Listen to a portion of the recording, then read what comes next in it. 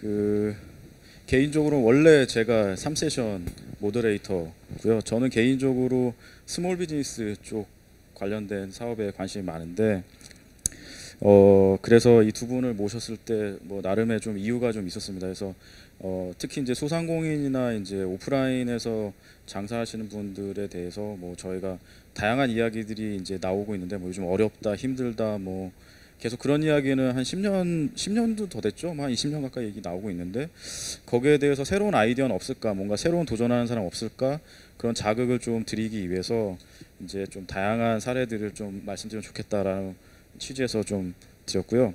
일단 그 심플로우의 질문을 좀 많이 주시고요. 제가 일단은 그 전에 사전에 좀 말씀드렸던 질문을 좀 드리려고 합니다. 어, 우영승 대표님께 먼저 좀 질문 좀 드릴게요. 이게 사실은 이제 빌드의 사업 내용을 보면은 이제 지역 사회에서 이제 흔히 이제 협동조합 형태로 이루어졌던 그 커뮤니티 비즈니스, 커뮤니티 사업과 상당히 유사하긴 한데 그런 부분에 대해서는 또 한편으로는 이제 비즈니스 쪽 마인드 혹은 뭐 그런 세팅이 좀 잘 돼 있는 것 같기도 하고 그래서 그런 부분에서 상당히 신선했거든요. 그러니까 뭔가 차이점 혹은 지향하는 점이 어떤 부분에서 좀 다른지 좀 설명 좀 해주세요. 어 일단 협동조합과 가장 큰 차이점은 아마 의사결정 구조겠죠. 네. 저희는 이, 아예 뭐 바텀업일 때도 있긴 하지만 웬만해선 다 탑다운입니다. 그래서 뭐 그런 게 어, 어쨌거나 이게 생존을 이제 이슈로 해서 이제 사업을 하고 좀 이제 사업 자체가 이제 저희는 아, 이 계속 이제 파일을 좀 키워나가는데 초점을 맞추다 보니까 우리끼리 잘 먹고 잘 살자에 대한 것보다도 좀더좀 사회 문제를 해결을 위한 목적 혹은 좀 시장을 좀 키워서 이제 좀 임팩트를 내기 위한 것에 훨씬 더 방향을 많이 좀 두고 있다 보니까 그런 게 조금 다르지 않을까 싶습니다. 예. 그런데 어쨌든 그 한 제가 알기로는 네. 그래도 10년 이상 그렇게 커뮤니티 비즈니스 이야기가 나왔음에도 불구하고 지금 저희가 알고 있는 좋은 사례들은 많지 않잖아요. 예. 네, 그런 부분에 대해서 분명히 학습을 하신 상태에서 분명히 빌드를 시작하셨을 것 같아요. 어떤 그런 부분에서 이제 어떤 조금 교훈이랄까 그 다음에 빌드의 어떤 지향점에서의 어떤 영향은 어떤 영향을 받았을까요? 어 일단은 어 사실 뭐 커뮤니티 비즈니스 사례가 이제 국내에도 꽤 더러 있는데 이제 다들 지향하는 바는 조금씩 다른 것 같아요. 근데 일단 협동조합의 경우에는 이제 사실은 뭐 장점도 있죠. 장점도 있는데 제 성격과 안 맞는 건데 이제 논의의 과정이 굉장히 길죠. 그러다 보면 이제 저희 회사에서 제가 이제 구성원들한테 항상 하는 얘기가 이제 어쨌거나 결과로 증명해요. 약간 비속어긴 한데 아가리 파이터가 되지 말자 뭐 이런 얘기를 이제 많이 하거든요. 그래서 어쨌거나 이 결과로 증명해 보이려고 하는 그런 좀 기업 문화를 좀 많이 만들어 나가려고 하는 게 이제 기존의 사례들에서 조금 이제 좀 바꿔서 하려고 하는 것 중에 하나인 것 같고 어 기본적으로 이 제가 개인적으로는 거대 담론이나 주체가 명확하지 않은 거를 별로 안 좋아합니다. 근데 이제 보통의 기본적으로 이제 지역 사회에서 이제 뭔가 다양한 활동을 하는 것들의 경우에는 보통 이제 대상을 넓혀요. 시민들을 위해서, 뭔가 주민들을 위해서, 혹은 뭐 우리 사회를 위해서 뭔가 이런 이 주체가 불분명하고 대상을 넓히는 방식으로 해서 이제 본인의 일들을 이제 합리화하는 경우들도 좀 덜어 있다라고 생각을 하는데 좀 최대한 그런 것들을 좀 빼려고 노력을 하고 있습니다. 네. 네. 어떤 말인지 저는 조금 이제 이쪽 비즈니스를 지켜본 사람으로서는 조금 예, 와닿는데 네. 아가리 파이터라는 단어가 딱 너무 콕 박히는데 그 이주연 리더님께 좀 질문을 드릴게요.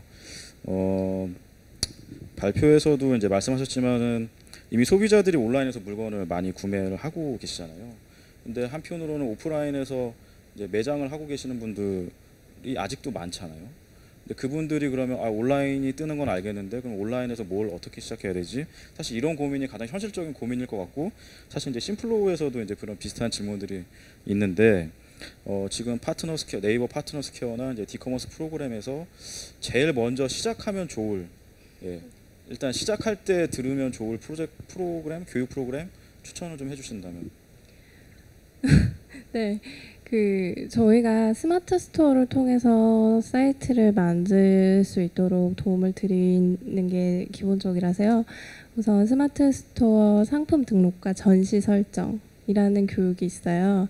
근데 이 교육이 4시간짜리 교육이라서 집중력을 계속 유지하기는 조금 힘들긴 하지만 이 교육을 한 번만 들으시면은 없던 store가 생기게 되는 교육입니다. 그래서 여러분께서 이 교육을 한번 들어보시면은 뭐 아 나도 스마트 스토어를 통해서 온라인 사장님이 될 수 있네 라고 생각할 정도의 교육이라서 이 교육 추천 드리고요. 그리고 저희 하는 교육 중에서 동대문 사입에 관련된 교육이 있어요. 근데 이 교육은 그냥 트렌드를 알기 위해서라도 한번 들어보시면 재밌을 것 같아요. 두 교육 모두 파트너스퀘어 역삼에서도 자주 운영이 되고 있는 교육이니까 관심 있으시면은 한번 들어보시면 좋을 것 같습니다. 뭐 참고로 말씀드리면은 저도 이거 디커머스 프로그램 만들 때 저도 참여해가지고 데이터를 봤는데 재밌는 사실은 그 쇼핑 지금 스마트 스토어가 뭔지는 아시죠? 예, 네이버에서 하는 그 온라인 쇼핑몰 그 페이지인데 쇼핑몰인데 그 쇼핑몰에서 매출을 발생하는 그 판매자의 절반이 개인이에요. 예, 개인이란 얘기는 뭐냐면 사업자가 아니라 이제 부업으로 하거나 아니면 그 사업자를 내기 전에 한번 실험적으로 해보는 분들이 제법 많으시더라고요. 그래서 예, 온라인 쇼핑이 참 재밌구나라는 걸 데이터를 보면서 저도 느꼈는데 아마 여기서 마음속으로 어, 뭐 이런 거 한번 해볼까라는 생각하시는 분들은 아까 이제 이주연 리더님이 말씀하셨던 그런 일단은 수업을 좀 들으시면서 한번 시도를 해보시는 것도 좋을 것 같습니다. 그러면 이제 또 다시 우영성 대표님한테 조금 하나 하나씩 질문 더 드리고 이제 심플로 질문 좀 할게요. 저는 이제 이 발표 자료를 이제 사전에 좀 받아보면서 재밌고 신선하면서도 조금 어, 걱정되는 부분은 그런 거였어요. 이제 뭐 앞, 앞으로 이제 대표님이 더 많은 구상이 있고 이제 빌드 팀이 더 많은 이제 기획을 하고 계시겠지만 현재 단계에서는 월곶이라는 동네 주민들을 대상으로 하는 의식주 관련 비즈니스거든요. 아까 이제 어떤 사업을 할 때 어떤 매출 규모나 이런 걸 예측하실 때도 월곶을 타겟으로만 계산을 하셨잖아요. 근데 이제 경제적인 측면에서 본다면 이게 지역 내 소비이다 보니까 이제 경제 어떤 외연의 확장이랄지 규모의 확장이라는 부분에서는 한계가 있지 않을까라는 생각도 사실 좀 들었거든요. 뭔가 외지인의 유입이나 아니면 소비의 확대나 뭐 어떤 성장을 계속 함으로 해서 그러니까 아까 말씀하셨던 객단가를 높이는 네. 것 외에 파이를 전체 키우는 어떤 계획은 없으신지. 일단 어 최근에 이제 투자자 분들하고 몇 번 미팅을 하기도 했는데 뭐 투자를 받기 위해서라기보다는 뭐 이야기를 나누는 시간이었는데 항상 저희한테 제일 많이 던져지는 이 굉장히 challenge 질문이 그래서 너네 scale-up 어떻게 할 건데? 사실 쉽지가 않아요. 공간을 scale-up 한다라는 것 자체 왜냐면 저희가 매장 세 개 내는데 한 돈이 한 5억 가까이 든 매장 하나당 기본적으로 1억 이상의 돈이 들어가기 때문에 사실은 투자 비용이 많은 것 대비 회수가 굉장히 느린 사업이다 보니까 scale-up 자체가 이제 쉽지는 않은 거는 뭐 팩트인 것 같습니다. 오프라인 비즈니스가. 근데 이제 그럼에도 불구하고 이제 외부 유입은 일단 제가 그래도 말씀드릴 수 있는 거는 아, 앞에 발표에도 얘기했다시피 이제 반경 10km 내의 인구가 한 100만 명 가까이 돼요. 실제로 이제 저희 매장의 매출 중에 이제 한 60에서 70% 가량이 이제 지역 주민이 아니라 외지 분들이십니다. 주말 매출이 이제 훨씬 더 높을 정도로 이제 어 그래도 이제 이게 이제 지역에 필요한 공간이자 그래도 외부에서도 충분히 찾아올 만한 그만큼 이제 컨텐츠를 가지는 게 중요하다라고는 생각을 하고요. scale-up에 대해서는 이제 사실은 이게 매장 하나 하나를 승부 봐서는 사실은 이게 scale-up을 하는 것 자체가 이제 쉽지는 않고 근데 이제 저희가 업종이 지금 현재 하고 있는 게 다섯 가지 정도 됩니다. 근데 이제 하나의 타겟이고 아이 엄마에 대한 거. 그러니까 철저히 고객에 대한 분석을 바탕으로 다양한 업종들을 하고 있기 때문에 이거는 이 지역의 컨디션과 맞는 데는 타 지역으로 복제를 시킬 때는 훨씬 더 용이할 거라고 생각을 해요. 그럴 때는 이제 뭐 시행사라든지 아니면 뭐 기업이라든지 파트너십을 맺어서 이제 그런 일들을 좀 해 나가는 방식으로 이제 scale-up을 좀 해 나가야 되지 않을까 하는 생각입니다. 예, 여전히 저희도 이 scale-up에 대한 고민들은 계속 하고 있는 상황입니다. 네. 네, 고민이 느껴지는 표정이라서 제가 더 이상 예, 추가로 뭐 여쭤보려고 했는데 그만하겠습니다. 네. 아, 아 하셔도 됩니다. 그 이주연 리더님께 좀 질문을 좀 드리면 전 사실 저도 네이버를 다니지만 이 디커머스 프로그램을 좀 알았지만 제일 신기하게 봤던 게 그 상품 페이지 진단 컨설팅 되게 재밌게 봤거든요. 이게 근데 저도 인터뷰를 좀 해보면 사실 사업하시는 분들이 완고하세요. 이게 바, 이게 완고하다라고 되게 이게 말씀을 드렸지만 사실 고집 되게 세가지고 이 컨설팅을 한다고 했을 때 과연 제대로 수용을 할 건가라는 생각 사실 궁금했거든요. 그래서 뭔가 그런 과정에서 어떤 에피소드나 어떤 성공 사례, 어떤 사례들이 있으면 좀 설명해 주시면 좋겠어요. 저, 저 같은 경우에는 최근에도 부산 가서도 이제 사업자 인터뷰를 했는데 뭐 자기들 그러니까 본인들만의 이제 노하우가 있어가지고 그걸 이야기하는 것도 꺼려하고 다른 사람들의 이야기를 듣는 것도 꺼려하시더라고요. 그래서 좀 이런 게 분명히 재미있는 에피소드 좀 있을 것 같아요. 아, 네. 어, 네. 저희가 사업자분들 진짜 많이 만나기는 해요. 정말 많이 만나고 그리고 파트너 스퀘어라는 장소 자체가 단순히 교육과 스튜디오 대여라는 게 가장 주요한 서비스기는 하지만 그것만 해서는 이 공간은 절대 돌아갈 수가 없어요. 더 많은 분들이 오시고 자기의 사업 스토리를 공유하시고 그걸 노하우 삼아서 또 다른 분이 성장을 하셔서 또 얘기가 돼야지 저희 파트너 스퀘어가 계속 확장을 할 수 있는 거거든요. 근데 어, 오시는 분들 중에서는 물론 그런 분도 있어요. 지역으로 가면 갈수록 더 심해지기는 한- 하는 것 같은데 좀 자기의 노하우를 내 경쟁업체에 알리고 싶어 하지 않으시는 분들도 분명히 있기는 해요. 하지만 저희가 만났던 분들 중에서 이런 분도 계셨어요. 그 몽골에 몽골어를 할 줄도 모르고 영어를 제대로 하실 줄도 모르는데 그냥 홀홀단신 몽골을 찾아간 거예요. 그래서 그 알파카 농장을 계약을 하신 거죠. 그래서 니트를 제작해서 스마트 스토어로 판매를 하시는 분 이런 분들은 정말 곤조 있으신 분들이에요. 그리고 네 그리고 그런 분도 계셨어요. 60대이신데 아이도 다 키워놨고 정말 더 이상은 집안을 굳이 막 이렇게 내가 예전처럼 할 필요가 없는데 나에겐 손재주가 있었더래서 그냥 솜 사고 목화 사고 나무 사고 해서 그걸로 인테리어 DIY 제품을 만들어서 판매를 하시는 거예요. 이미 나는 더 이상의 기회가 없다고 생각했지만 이런 식으로 이제 판매를 시작하셨는데 스마트 스토어가 잘 돼서 어, 성장을 하시는 거죠. 이 두 분 다. 그랬는데 이분의 고민은 그거였던 거예요. 나는 성장할 만큼 했다고 생각은 하지만 더 성장하고 싶은데 어떻게 해야 될지 모르겠다. 자기의 노하우는 충분히 주겠지만 나에게 더 많은 가르침을 달라. 라는 분들의 needs가 되게 많았던 거죠. 근데 사업을 하다 보면 누구나 그럴 것 같아요. 나는 이만큼 성장했지만 근데 나는 더 성장하고 싶은데 어쩌다 보니 이렇게 된 것 같은 분들도 많은 거예요. 이런 분들이 컨설팅을 많이 하시고요.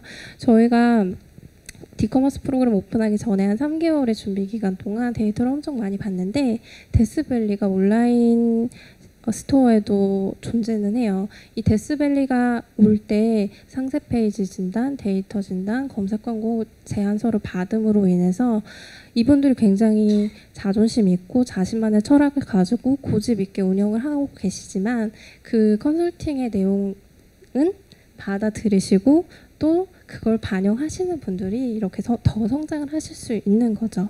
그래서 제가 볼 때는 물론 어려움이 있기는 하지만 더 많이 만나고 파트너 스퀘어라는 공간을 통해서 이런 이야기들이 노하우가 공유되면서 어, 우리 모두가 small business와 네이버 모두가 성장하는 기회가 되지 않나라는 생각이 듭니다. 네, 말씀을 조곤조곤 잘 하시는데 갑자기 곤조라고 얘기하셔가지고 당황했습니다. 네. 네, 그러면 이제 우영승 대표님 이제 floor 질문 좀 받아볼게요. 네. 네, 질문이 아까 주제보다 그래도 관심이 더 많으신 건지 질문이 많이 올라오고 있는데 어, 시흥 씨와의 협업이 시작점이 된 것 같은데요. 공공기관과의 협업은 비즈니스적으로 한계가 많은데 그 부분에 대해서 어떻게 해결해 갔는지 궁금해요. 사실 이건 제가 사전 질문으로 드리려고 했던 건데 예.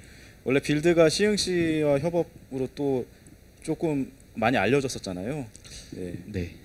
일단은 이 바로 잡을 거는 시작할 때 시흥 시랑 협업하지는 않았습니다. 예.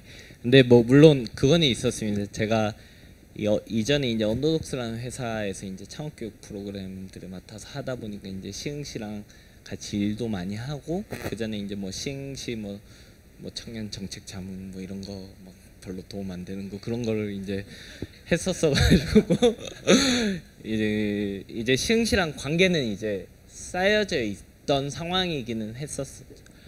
이제 처음에 시흥시에서 에, 일단은 이거부터 말씀. 시흥시에서 부르는 100이라고 하면 100 중에 90은 회사에 도움이 되냐 도움이 되지 않냐라고 하면 도움이 안 됩니다. 일단 기본적으로. 근데 그걸 알면서도 이제 필요하다 싶으면 할 때가 있어요. 가령 예를 들어 지역에서 가장 큰 축제가 있으면은 돈은 정말 조금 주지만 그래도 우리가 지역의 구성원 중에 일원으로서 이 축제에서 제, 우리가 뭔가 제대로 한번 보여주자. 이게 어쨌거나 지역에 있는 소비자들을 만날 수 있는 접점이기도 하니까 이런 거 같은 경우에는 저희가 투자의 개념으로 이제 지역 사회랑 같이 이제 일을 하는 게 있는데 막 이 여러분들이 이제 공공기관이라고 항상 도움을 주는 대상이라고 생각을 하면 오히려 파트너 관계가 안 되는 것 같아요. 근데 저는 이제 시흥시랑 이 give and take를 되게 중요하게 생각을 하거든요. 그래서 이게 clear하지 않으면은 이제 웬만하면 일을 같이 안 하려고 합니다. 그래서 아마 시흥시 공무원들 중에 저를 싫어하는 분들이 아마 좋아하는 분들보다 더 많으실 거예요. 싫어하는 분들이. 근데 이제 3호점 같은 경우에가 이제 시흥시랑 같이 협업한 대표적인 사례예요. 저희 키즈 카페 그 실내 놀이터 같은 경우는 건물주가 시흥시입니다. 시흥시가 건물에 매입을 했고 제가 이제 임차로 월세를 내면서 이제 쓰고 있는데 5년 뒤에 시흥시가 팔고 이거를 이제 아까 전에 말한 지역형 리츠를 만드는 그 마중물의 사업으로 이제 시흥시가 돈을 집어넣어서 이제 건물을 매입을 해서 잡고 있는. 근데 이 구조를 짜는데도 제일 중요하게 생각하는 게 시설 투자비는 100% 저희 자부담으로 해서 1원도 안 들어. 그리고 월세도 다 합당하게 이제 입찰을 통해서 최고가 입찰로 저희가 선정이 된. 거. 그러니까 굳이 뭔가 이 얼매 이 바짓가랭이 붙잡는 거를 하고 싶지는 않은 거죠. 이 공- 예, 대등한 파트너로서의 관계를 계속 유지하고자 좀 많이 노력을 하는 것 같아요. 근데 어쨌거나 마지막으로 하나만 더 얘기하면 시흥시가 한 해 예상 규모가 1조 원이 넘- 넘어요. 시흥시에 이- 존재하는 모든 기업들 다 통틀어서 가장 큰 대기업인 거죠. 예, 저희는 을이고 시흥시는 갑이에요. 그걸 인정해야 된. 그리고 이 갑한테는 항상 을의 입장에서 을로서 최선을 다해야 되는 것들도 있기 때문에 그 관계를 인정하고 들어가는 것도 필요하다라고 생각을. 서울 같은 경우에는 수많은 투자 기관이라든지 좋은 팀들 같이 협업을 할 수 있는 것들이 많지만 사실 지역은 같이 협업할 수 있는 팀들이나 기관들이 거의 없습니다. 그럼 결국에는 이 시흥시라는 이 거대한 이 기업이자 기관과 좋은 관계들을 형성해 나가면서 같이 일을 하는 것 또한 전 되게 중요한 일이라고는 생각하지만 태생이 다르기 때문에 웬만하면 거리를 두고 아까 전에 그 팔 한 길이 정도의 거리를 두고 네 하는 게 좀 필요하다라고는 생각을 합니다. 아 이거 다 녹화되고 있나요? 네 시흥시 좋습니다. 네. 그래도 최대한 자제하고 계시는 게 느껴졌어요 옆에서. 아 네, 많은 많은 일들을 겪으셨구나라는 생각이 좀 들었고요. 네, 그건 각자 예, 잘 해석해 주시고요. 그래서 어렵답니다 지자체랑 일하는 게. 네. 어 이주연 리더님한테 또 이게 뭐 좋은 사례 계속 많이 말씀해 주셨는데 뭐 혹시 꽤 크게 성장했다가 무너지는 사례가 있었는지요? 있었다면 어떤 이유인지 궁금합니다. 이게 아까 이제 데스밸리도 말씀하셨잖아요. 사실은 실패 사례를 저희가 트래킹하기가 사실 어려워요. 사실 닫고 나면은 저희가 뭐 알 수가 없잖아요. 문을 닫고 나면 어, 알 수가 없는데 그럼에도 불구하고 뭔가 어려움을 겪던 사례라든지 뭔가 데스밸리에서 고민을 하시는 사례라든지 예, 그런 얘기 좀 해주시면 좋을 것 같아요. 어, 네, 물론 많이 있습니다. 저희가 이렇게 성장 사례만 이야기하지만 성장 사례보다는 실패 사례가 훨씬 더 많을 것 같다는 생각이 들기도 하고요. 그런 분들의 사례를 조금 보면은 기본적으로는 시작부터 지속 가능하지 않은 네, 일이거나 아니면 리걸 이슈가 있는 상품을 판매하시는 분들이 많죠. 근데 이런 분들은 어, 한 번에 실패를 하시더라도 다시 재창업을 하시는 경우가 굉장히 많아요. 그래서 재창업을 할 때에도 그 전에 실패 사례를 그 본인의 어떤 네, 경험 삼아서 더 잘 되시는 사례들이 많아서 오히려 무너지는 사례가 그냥 실패로 끝나는 것이 아니라 저희한테 더 많은 노하우를 공유해 주실 수 있는 경험이 되는 것 같 다라는 생각이 들고요. 무너지는 사례는 뭐 저희 입장에서는 항상 하는 얘기긴 해요. 될 놈 되리라고 열심히 하시면은 되고요. 이것도 녹화되나요? 당연히 녹화되죠. 네, 파트너스퀘어 방문해서 컨설팅을 받으시기 바랍니다. 네, 무너지신다 싶으면은 네, 도움이 될 것 같고요. 네, 아, 이거 이 질문을 해야 되나 말아야 되나 사실 이렇게 고민이 되는데 어 이거 질문 질문자 누군지 손 좀 들어봐 주세요. 부동산 관련 사업에 블록체인을 접목하실 생각이 있나요? ICO 같은 거 예, 실물 부동산 자산과 결합하면 가능할 것 같다고 말씀. 이거 누구예요? 진짜 궁금한데. 아, 네. 진지하게 물어보셨. 네. 제가 블록체인을 잘 몰라서 결합을 해주신다면요. 기꺼이 받아들이겠지만. 근데 이거는 있는 것 같아요. 그러니까 이게 부동산이 중요하냐 아니냐를 떠나서 이제 이제 개인 간의 거래들을 만드는데 블록체인이 가지는 역할과 기능이 굉장히 크다라고 생각을 하기 때문에 저희도 이제 나중에 이제 이 지역형 리츠라는 것 자체가 지역 안에서 이제 개인 간의 그러니까 자산 가치 상승 주식이랑 똑같은 거죠. 어떻게 보면 이 공간의 가치가 이제 매출과 연동을 시켜서 오르는 만큼 오른 시세만큼 이제 이 사람은 팔고 뭐 그 다음에 또 이사 온 사람이 이제 이 자산을 사고 이런 거래가 가능하게끔 구조를 만드는 거에는 정말 관심이 많기 때문에 접목을 시킬 수 있다면야 정말 좋을 것 같지만 제가 저 전기전자가긴 하거든요. 근데 제가 그런 거랑 별로 친하지를 않아가지고 네. 도, 뭐 답변이 안 된 것 같지만 네 죄송합니다. 네. 네, 잘 모르신답니다. 네, 아직 아직 검토를 진지하게 하실 수 없는 상황이라고 하니까요. 네, 이따가 개인적으로 조금 이야기를 좀 나눠보시고 아, 네. 자극을 좀 네. 아이디어 아마 있으시니까 질문을 하셨던 것 같은데요. 어, 바로 이어서 이주연 리더님께 오프라인 사업자가 스마트 스토어를 통해 온라인 판매로 진입하기는 쉬울 것 같은데 역으로 온라인의 성장에 있어서는 오프라인 사업이 온라인 성장에 장애가 되는 경우도 있을 것 같습니다. 실제로 그런 사례가 있나요? 네. 오프라인 사업이 온라인 성장에 장애가 된다라는 거죠. 아마 이제 음, 저희 윈도우 시리즈인 것 같은데 그죠? 네. 사업에 장애가 되는 경우 그 오프라인 사업을 하신다는 건 온라인 사업과 어떻게 보면 좋을까요? 온라인 사업을 어, 우선 하시는 분들이 오프라인 매장을 내시는 경우도 있고요. 그리고 오프라인 사업을 하시다가 온라인으로 들어오시는 분들도 계시죠. 근데 지금 이 질문은 제가 볼 때는 어, 그런 분들인 것 같아요. 본인이 만들어서 판매하시는 분들한테는 성장의 장애라기보다는 락, 좀 로딩이 걸릴 수 있는 사례들이 있을 수 있을 것 같기는 해요. 어, 그래서 그런 분들은 좀 다른 방식으로 접근을 하고는 있어요. 그래서 뭐 윈도우를 하시는 분들 중에서는 네이버의 서비스 중에 윈도우라는 서비스는 오프라인 매장을 가지신 분들이 온라인에 진출하시기 쉽게 또는 오프라인에 있는 매장을 그대로 찍어서 온라인으로 올리실 수 있게 하는 서비스거든요. 그러다 보니까 이 여기에 계신 분들은 공방 사업자들이 좀 많으신 편이에요. 그래서 자, 본인이 손으로 만든다거나 아니면 food 사업자 분들도 이제 손으로 만들어서 그걸 판매하시는 거죠. 매출은 굉장히 많이 오를 수 있지만 내가 할 수 있는 한계가 있다라는 거에 대해서는 뭐 본인들도 알고 계시고 장애까지는 아니지만 이제 그거의 방법을 잘 못 찾으시는 분들도 계시기는 한 것 같아요.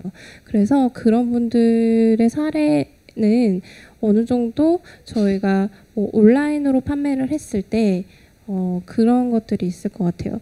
이거를 단순히 그냥 상품을 판매하는 게 아니라 상품을 만들 수 있는 방법을 판매하는 방식으로 안내를 드릴 수는 있을 것 같아요. 예를 들어서 뭐 시들지 않는 꽃을 만들어 판매를 하고 계셨는데 그 시들지 않는 꽃이 정말 인기가 많아져서 또는 오프라인 매장에서 그걸 판매하다 보니까 이제 온라인에서 다수 주문권 소화하지 못하실 수도 있는데 그럴 경우에는 시들지 않는 꽃을 만드는 방법을 온라인으로 상품을 올리고 DIY 상품을 올리고 또는 그 만드는 방법을 영상으로 만- 올리고 해서 그 방법들을 좀 찾아 나가실 수 있게 도와드리는 편이기는 하거든요. 그리고 저희가 사실 2000, 아, 올해 9월에 파트너스퀘어 종로를 시작을 해요. 종로 같은 경우는 메이커스들을 대상으로 이제 이런 지금 말씀드린 사업들을 좀 교육이나 프로그램으로 풀어 나가려고 하거든요. 그래서 저는 계속 같은 얘기는 것 같은데 파트너스퀘어와 같이 이제 고민들을 해 나가시면 풀어 나가실 수 있을 것 같습니다.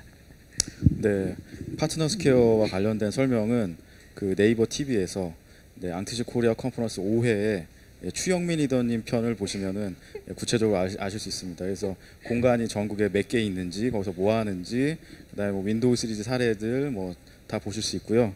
네이버 TV에 다 올라가서 지금 보시면 됩니다.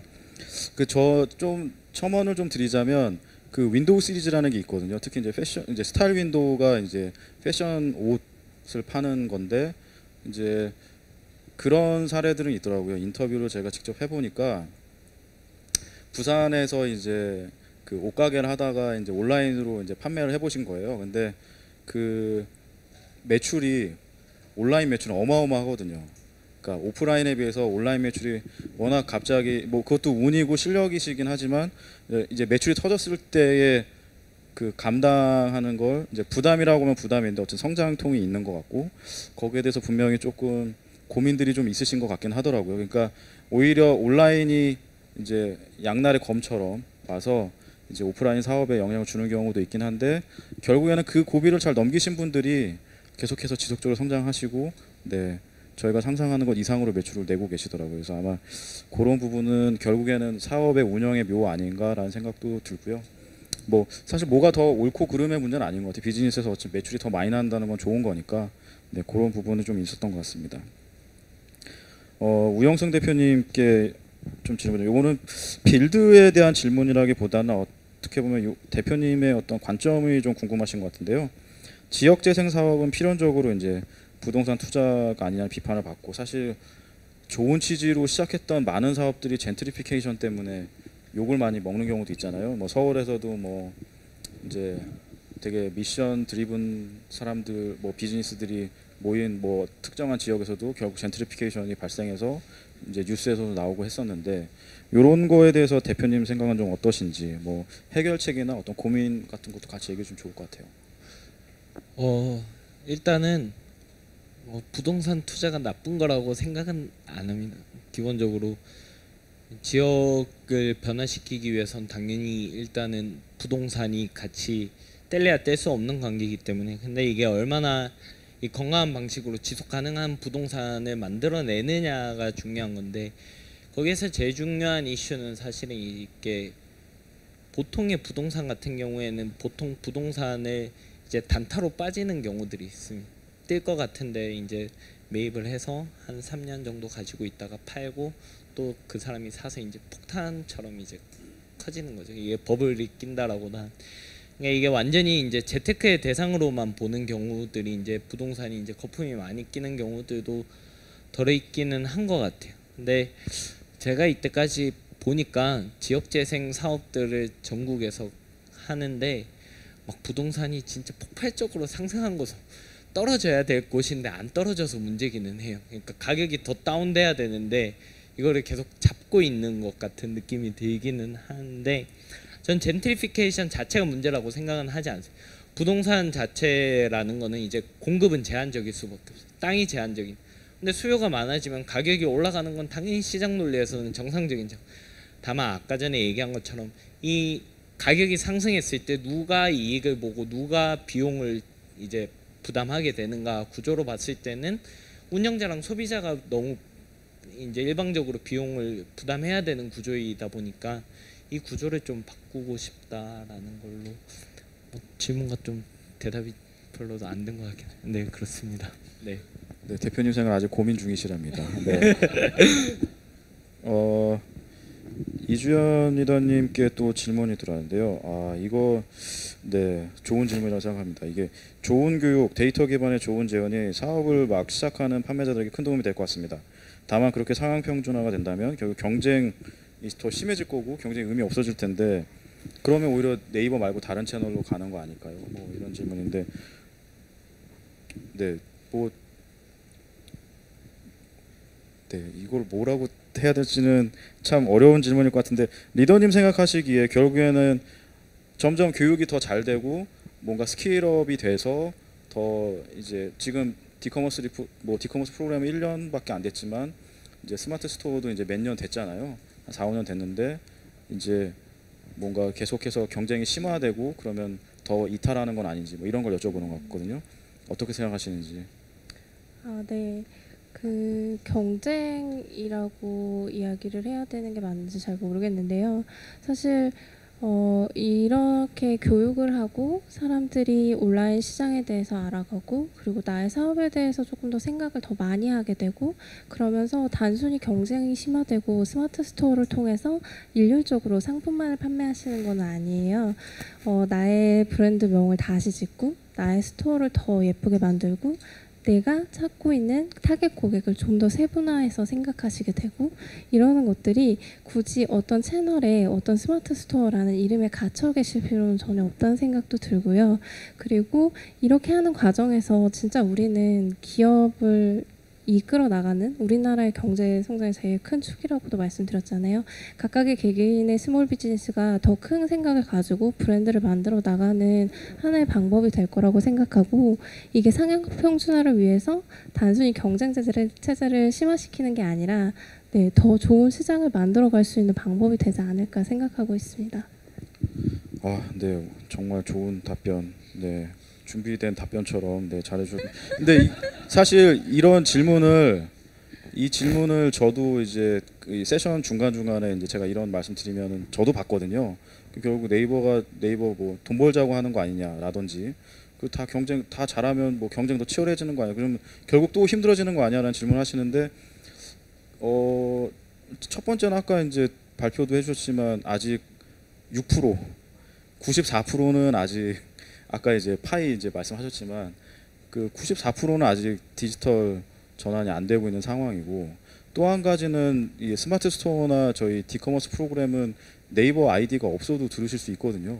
이제 신청을 할 때는 아니, 그러니까 스마트 스토어 아이디가 없어도 돼요. 네이버 아이디는 있어야지 신청을 하실 수가 있는데 네이버 아이디 없으신 분 계신가요? 근데 대부분 갖고 계시잖아요. 그래서 굳이 이제 판매를 하시거나 광고를 하거나 하지 않으셔도 들을 수 있고 이제 아까 이제 서- 잠깐 설명드렸지만 노무나 뭐 재무 회계와 관련된 창업 전반에 대한 교육도 이미 하고 있기 때문에 뭐 꼭 그런 목적으로 이 교육을 이제 진행하는 건 아니라는 오해 예, 꼭 당부드리고 싶습니다. 제가 이 질문 정 너무 많이 받아가지고요, 저도요. 네, 꼭 그렇게 말씀드리고 네, 어 이제 시간이 거의 다 끝났고요. 제가 이 컨퍼런스 맨날 할 때마다 맨 끝에 해가지고 이 발표자 두 분께 너무 죄송한데 다들 이제 나, 많이들 나가시고 이제 절반 정도 조금 넘게 남으신 것 같은데 어 일단은 그 마지막으로 두 분이 각각 결국에는 이제 D-commerce 프로그램은 온라인도 있고 오프라인도 있고 하지만 파트너 스퀘어라는 공간이 또 있잖아요. 그리고 빌드는 커뮤니티 비즈니스이기 때문에 그 월곶이라는 지역이라는 공간의 특성이 분명히 있을 것 같습니다.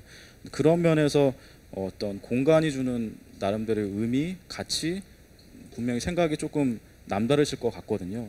뭐 그런 거에 대해서 어떤 지금 어떤 프로그램을 운영하는 실무 팀장 리더로서 혹은 이제 그쪽 커뮤니티 비즈니스를 하는 입장에서 뭐 공간이 이제 어떤 의미를 지니시는지 그래서 그걸 통해서 어떤 걸 이루고 싶으신지 좀 한 말씀 해주시고 마무리하면 좋을 것 같습니다. 네. 어, 일단 오프라인 비즈니스의 가장 큰 매력은 고객을 눈으로 본다라는 거인 것 같아요. 그러니까 음식을 주면 고객이 바로 반응이 보이죠. 계산을 하러 나갈 때도 이제 고객이 음식 맛있게 드셨습니까 하면은 바로 이제 대답이 옵니다. 그러니까 고객과의 인터랙션이 굉장히 많다라는 게 이제 장점인 것. 좀 더 나아가서 보자면 오프라인 비즈니스 제가 이 사업을 왜 하게 됐냐면 사실 제가 이전에 사회적 기업 뭐 이런 사회적 경제 관련된 쪽에서 일을 했었는데 좀 그런 문제 인식이 느껴. 막 거대 담론, 사회적 기업, 뭐 사회 문제 이런 이야기를 하는데 그래서 이제 비즈니스들이 실제적으로 어떠한 변화를 만들어냈는가. 그러니까 이 뭐 KPI 해서 이제 결과물들에 대한 수치는 얘기를 하지만 그래서 사회가 변화했는가, 뭐 그런 움직임이 보이는가 했을 때는 조금은 저는 약간은 회의적인 입장이었어요. 그래서 이제 지역으로 이제 지역을 기반으로 한 이유도 하나의 지역에서 하나의 타겟으로 우리가 다양한 서비스들을 하다 보면 이 사람의 삶의 이제 실질적인 변화의 모습들을 우리가 가시적으로 좀 만들어낼 수 있지 않을까라는 고민들을 많이 하게 됐었던 거고요. 실제로 그런 변화들이 조금씩은 보이고 있죠. 그래도 이 지역에 사는 사람들이 조금은 정주 의지가 높아지고 저희가 이제 사업을 하기 시작하면서 이제 신규 팀들 뭐 영상 업체도 들어오기도 하고 이제 지역의 건축가도 오기도 하고 이 지역의 다양한 팀들이 들어오면서 이제 같이 이제 좀 커뮤니티 창업 커뮤니티들도 조금씩 만들어 나와 이런 것들 눈에 보이는 것들이 오프라인은 굉장히 많다 그리고 그때 그때 즉각 즉각 이 interaction들이 많이 일어난다라는 게 가장 큰 장점 아닐까 싶습니다. 네. 네. 음, 사실 오프라인 공간을 만든다는 거는 이런 온라인 네이버 같은 온라인 기업에게는 되게 큰 변화이기는 한 것 같아요. 근데 저희가 뭐 파- 네이버가 파트너 스퀘어를 만드는 게 어느 날 갑자기 누군가의 의견에 의해서 만들어진 것은 절대 아니고 오랜 기간 동안 여러 가지 사업자, 여러 다양한 업종의 사업자분들을 만나면서 그 만나는 과정에서 직접적으로 small business들이 모이고 나의 교육을 받고 내가 성장하고 그거를 같이 공유할 수 있는 그 장을 만들어 간다는 게 저희한테도 빌드에서 말씀 주신 것처럼 커뮤니티를 만들어 간다는 게 저에게 큰 의미였던 것 같습니다. 그 음, 스퀘어가요. 파트너 스퀘어가 광장의 square잖아요. 저희도 광장을 만들었고 싶었던 거고 거기에서 어, 사, small business들이 즉 우리의 엄마 아빠 그리고 제 친구들이 모여서 나의 성공을 이야기하고 내 성공 노하우를 같이 공유할 수 있게 그 프로그램을 만들어 나가는 게 어떻게 보면은 네이버가 오프라인 공간을 만들고 그것을 지금까지도 이어가는 또 확장해 가는 이유가 아닐까라는 생각이 들긴 합니다. 네, 뭐 앞서서 두 번째 세션, 뭐 첫 번째 세션도 마찬가지지만 세 번째 세션도 마찬가지인 결국에는 어떤 작은 성공을 먼저 만들기 위한 어떤 치열한 문제 의식 그걸 실행하는 것, 뭐 이런 것들이 결국에는 어 지금 이 두 분도 그렇고 앞선 두 분도 그런 이야기를 해주시는 게 오늘 아주 귀한 시간이지 않았을까라는 생각이 듭니다. 어 마지막까지 시간 내주셔서 여기 앉아 계시고 집중해 주셔서 감사합니다. 네, 세션 마치겠습니다.